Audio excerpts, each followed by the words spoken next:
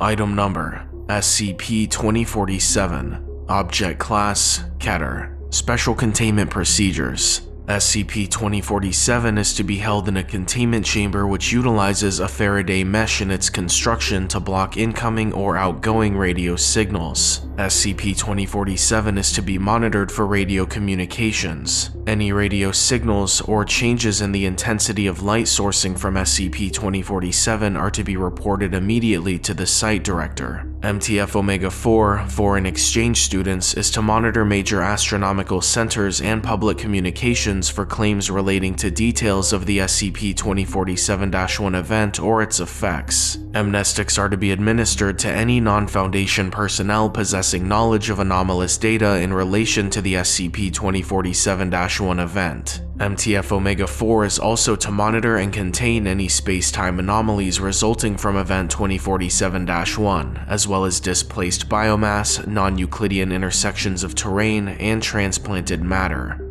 Description: SCP-2047 is a hollow iron sphere with a 40 centimeter diameter covered in language originating from Theta C.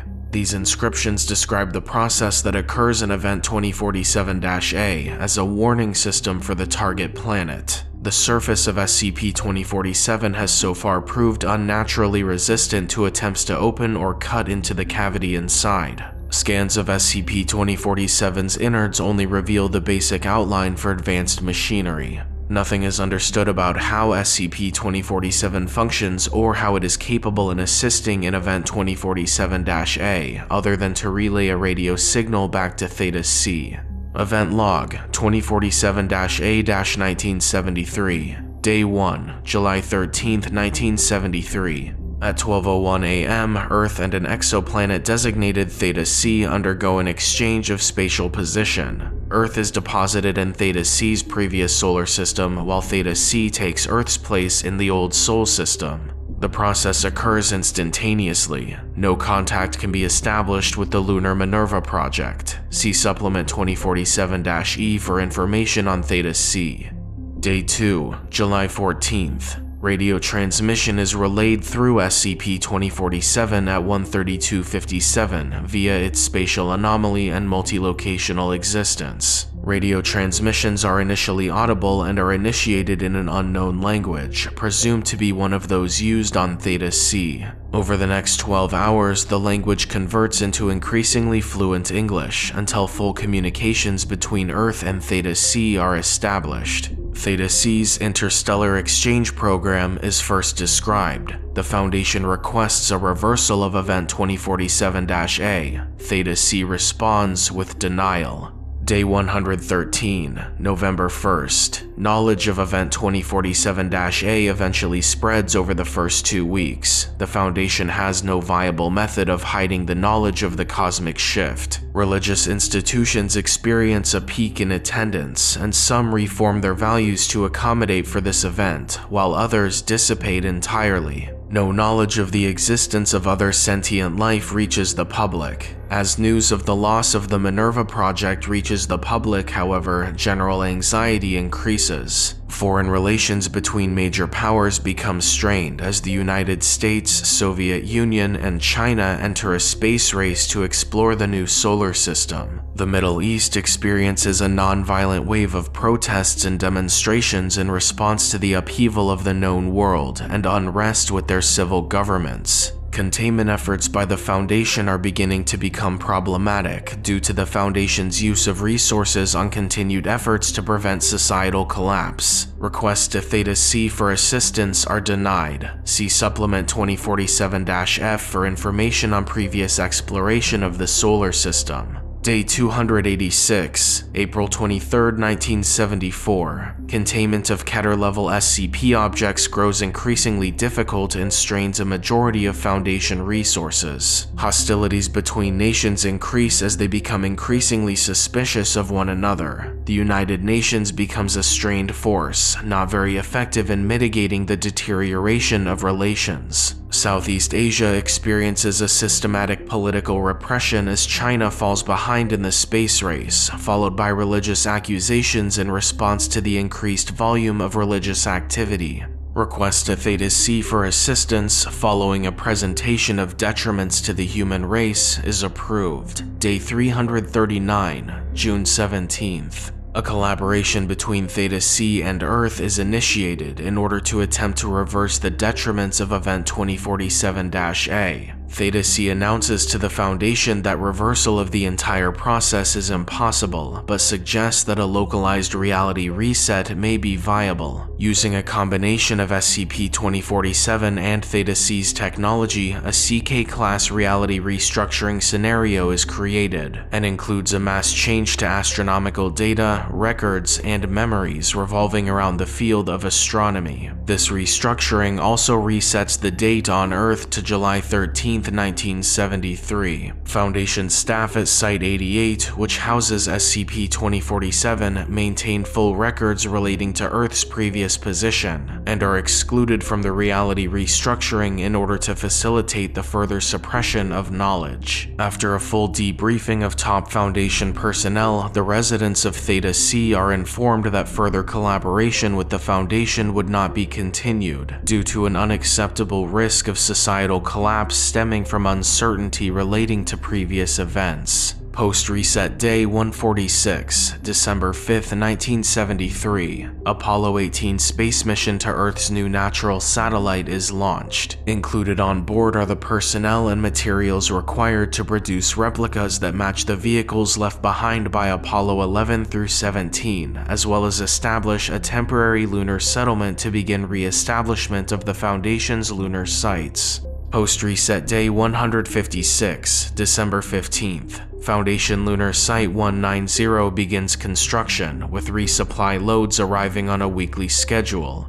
Post Reset Day 1517, July 5, 1977, Voyager 1 mission launches in order to better ascertain the details of the solar system that Earth now resides in. Minimal data was relayed from Theta C after the exchange, but further investigation is warranted as necessary. Pertinent debriefing materials, Supplement 2047-E, Planet Theta C, also known as Pykal by its inhabitants, is the densest planet in its respective solar system. Theta C houses approximately 9.144 billion different species in the best translation between nomenclature systems possible. Its sentient population is distributed among 19 minor continents and one major landmass, including 147 independent governments. However, all states are connected to one central government that is housed on the major landmass. The apparent age of Theta C is 4.7 billion years, exceeding the Earth's approximate age by around 0.2 billion years. The development of both anaerobic and aerobic life assisted in the creation of this planet's ozone layer, although aquatic-based life forms were more prominent in Theta C's development of sentient life. Its gravitational force is 9.582 meters per second squared, just below that of Earth's. Each day on Theta C is just above 24 Earth hours. For every two centuries on Theta C, there is approximately one additional day on Earth. Inhabitants of Theta C are a sentient race of semi-aquatic bipedal humanoids. They have a chitin scale aggregate above their epidermis, with the majority of their internal organ systems being similar to that of a human's. Through glands above their sternum, similar to gills, they are able to maintain a limited ability to breathe underwater. In contemporary Theta C society, however, civilization is land-based, with very few underwater establishments, and all establishments of this type are research-centered. Philosophy of Theta C largely revolves around olfactory expansion and the resulting effects on cognition. Inhabitants of Theta C believe that taste is the most fundamental sensory experience in existence, and as such provides the most connection with the universe around them. Religious institutions are based on schools of thought on the effects of culinary design and their relations to cognition. There is no mention of the belief of a deity.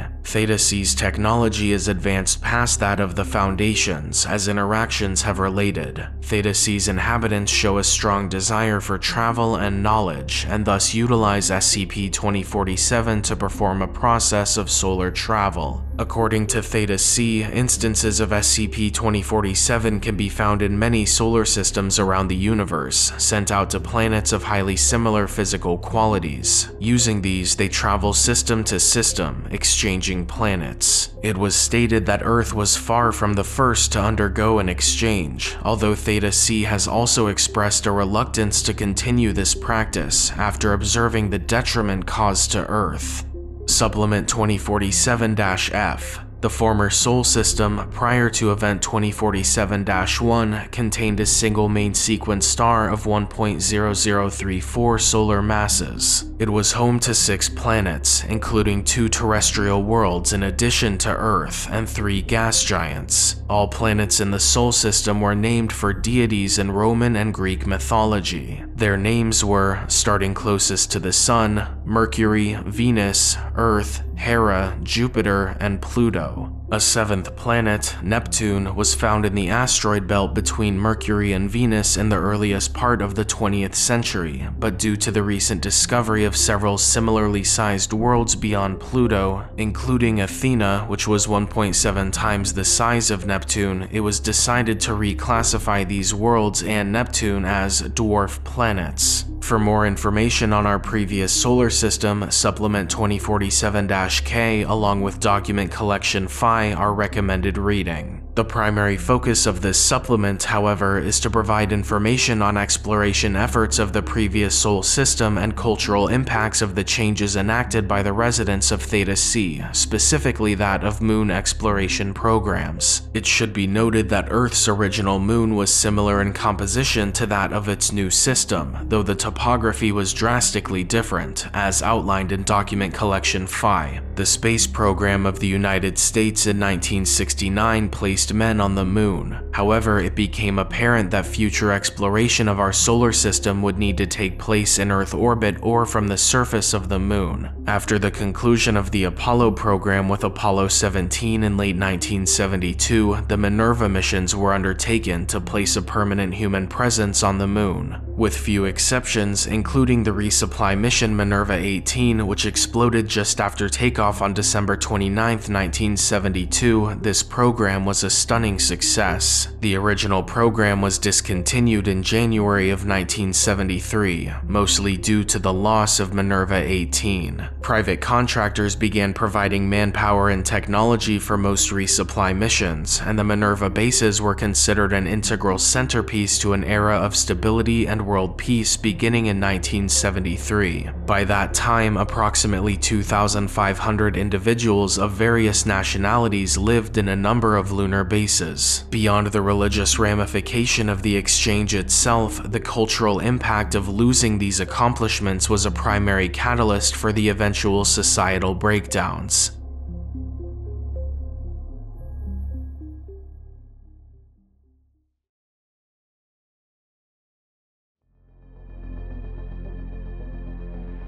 Thank you all so much for watching and a huge thank you to all of my patrons on Patreon. Special shout out to Everborn, Joe Light, The Bone Man, Tanis Ruler of All, and Doomsday LLC, Prince and Design. If you'd like to help support the channel, head on over to patreon.com slash drmaxwell, link in the description.